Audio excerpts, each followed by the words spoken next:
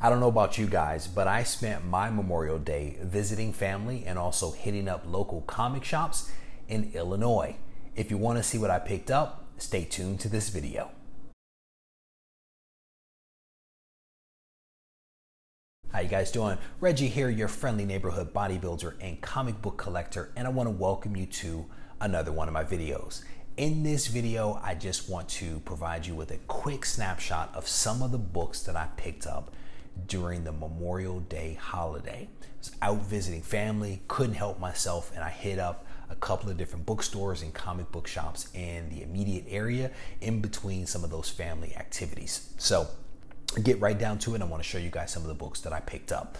The first place that I went uh, was a complete bust. Um, it was a comic shop that I had high hopes for because online it looked like a great shop. But when I arrived and kind of, you know, started making my way through the shop, I realized that they really weren't a comic shop. They were more of a game shop. They had an entire room set up just for people to play, I guess, strategy or board games or something like that.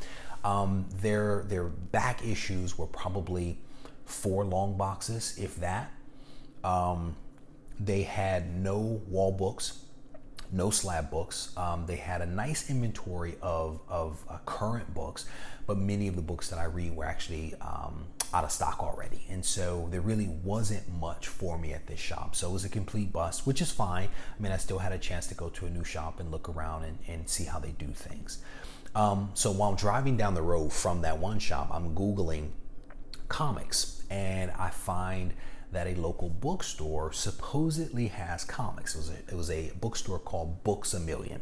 So I decided to go by, check it out because it was on my way right down the street. Decided to, to see what they had. And lo and behold, they had a pretty nice inventory of books. Most of them were current books, but they also had some older issues um, kind of mixed in there just a little bit. So I picked up a couple of Amazing Spider Man books, books that I had not seen before um, so I decided to grab them because I had not seen them before, and so um, why not? At the, the prices that they were charging, I thought why not? So the first book that I picked up was Amazing Spider-Man uh, number one. This is actually the fried pie variant edition. In fact, all the books that I'm showing you from this store are Fried Pie variant edition. And I believe, and you guys correct me if I'm wrong, I believe that Fried Pie is a variant that is only offered through um, general bookstores and not through comic shops. And I believe that most of the books have relatively low print runs. So, first one, Amazing Spider Man number one. I thought this was a really cool cover that appears to be uh, uh, watercolor. I just thought it was a really nice profile of, uh, of Spider-Man there with his spider sense tingling as he's kind of uh, swinging on his web. So pretty nice book there. Comes in this um, you know old school uh, poly bag and a, and a relatively flimsy board, um, but still a board nevertheless. Book is in amazing shape. I picked up um, three copies of this book uh, Amazing Spider Man Renew Your Vows, number one. And again, this is a fried pie variant. I thought that was a really, really cool cover. Um, because you know the classic from the movie is, is, Spider-Man kissing Mary Jane hanging upside down. So I thought this was a really cool one. Um, but again, another fried pie um, variant. I picked up again three copies of that. I've actually already posted one on eBay to uh, to sell, but probably hold the others. Um, this last one is Spectacular Spider-Man, and also number one. And I just thought that was a really cool cover as well. Spider-Man upside down, uh, and Mary Jane about to uh, to kill a spider with probably the Daily Bugle, but another really cool uh, fried pie variant. So that same day, I'm driving down the street after leaving these two shops. I hit another shop. The shop is actually closed. Shop was supposed to be open, but it was closed. And I come to find out it was closed because the owner had a um, had some kind of party to go to out of town or something like that. So she actually was not in the shop, which is fine. So then the very next day, I decided to go back. So I actually called ahead of time this time, and she tells me she was going to be there for another hour. So I immediately jump in the car and go because I need to get there that day because I'm flying out the very next morning very early. So I wanted to go to experience the shop and I'm glad that I did. I had the most wonderful experience at the shop. Um, I don't know about you guys, but I've gone to some shops where the owner just doesn't speak or speaks very little. If he if he doesn't know you, um, doesn't really pay you any attention this shop was actually owned by a woman who welcomed me very warmly uh, into her shop you know offered me uh, a cold beverage and you know encouraged me to uh, you know to take my time to look around the shop you know mentioned that if i needed to use the restroom there was a place in the back that i could actually go. But she received me incredibly well. And so when people uh, treat me well i try to reciprocate that. And i also try to especially if it's a business i try to show them you know some um, some love by actually buying something from them. So i took a fair amount of time actually going through her books. Um, she had about an hour there. So I, I, I kind of took my time, but I was very purposeful in my actions. So in going through her long boxes, and there were there were many of them. This was a really big shop with lots of inventory. Um, but in going through there, I spotted lots of books. I could have spent a lot more time and a lot more money going through these um, through these boxes. Um, but I kind of kept myself under control for some reasons to be revealed at a later date. But let me show you the books that I picked up. The first one, New Mutants, number one.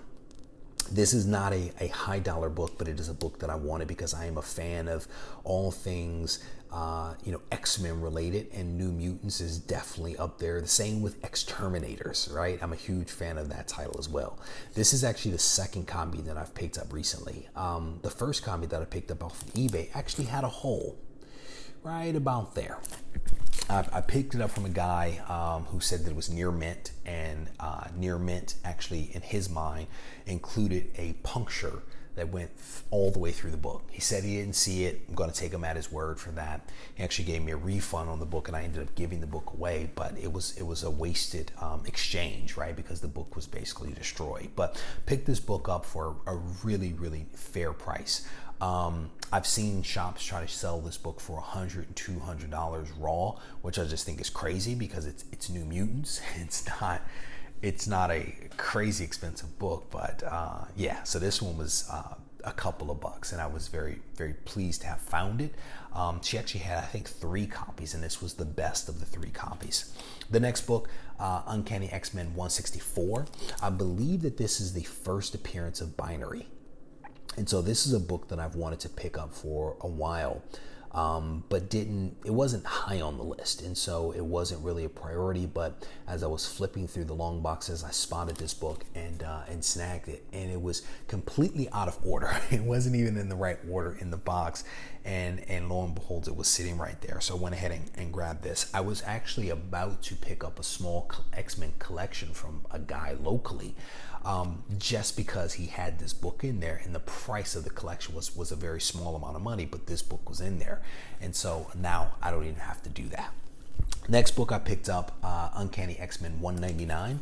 This is the first appearance of Rachel Summers as Phoenix 2. Um, I just thought it was a really cool book, right? You can't go wrong with uh, with uh, with Rachel Summers. So not only did I pick up one copy, but I picked up two. And you can see that there are definitely some color differences between these two books. Maybe one was exposed to um, to sunlight. Maybe it just wasn't taken care of. Maybe it was just natural printing. I'm not quite so certain, but I picked up two copies. She had a, a couple of them, but those were two really, really nice copies. Next book I picked up was um, Venom Lethal Protector number one. Can't go wrong with that foil cover, right? So I went ahead and snagged this. The Venom movie is, uh, I think everyone by now has probably seen the trailer, but this this is, uh, I think, what the movie is based upon. And I think I've heard rumored that the main um, villain is uh, Carnage in Lethal Protector. At least that's what I've heard. Maybe you guys can correct me, but I went ahead and snagged this one for a decent price. I already have one copy of it. I don't know if mine is direct or newsstand. Um, but I went ahead and grabbed another copy because it was there. And then I also picked up Amazing Spider Man 583. This is the fifth print variant.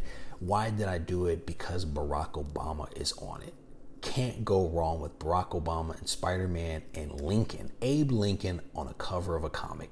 I've seen this thing on uh, Instagram a couple of times, never had a chance to snag it, and so I saw it in the box and went ahead and uh, made it happen.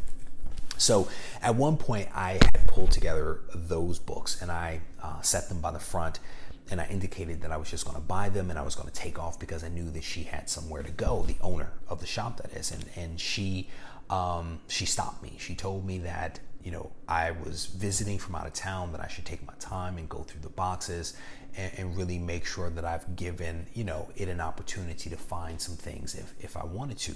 She said she would make plenty of time, and so again, it's just is, is a continuation of the wonderful experience that I had in the shop. So I spent more time going through some of the boxes. She had um, most of the things in the shop were 50% off already, but then she also had some $2 boxes, I think $5 boxes, 50 cent boxes, and dollar boxes. And she had the boxes kind of all set up because I think she had a show that she was getting ready for. So she was kind of breaking um, her inventory out in a couple of different sections. And so, um, you know, once she gave me the go ahead to stay a little bit longer, I, I started to go into some of those areas to take a look. And so I ended up hitting up the dollar bin uh, you know, I hit all the bins really, but then I, I finished up at the dollar bin and I was able to snag New Mutants number three. And I think this is the first appearance of Demon Bear. And, and you guys know that there aren't very many keys in New Mutants, um, but this is one of them in addition to number one. Number three is also a, uh, a key book for New Mutants. So I went ahead and snagged that.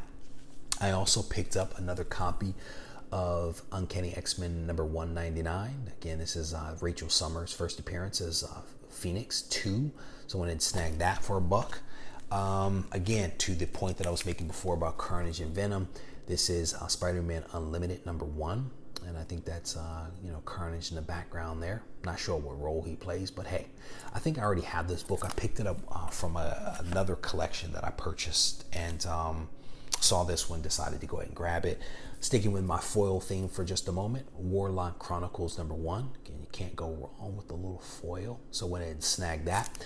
If you guys haven't um, done so, I encourage you to check out the video that I posted up recently about Adam Warlock's first full appearance.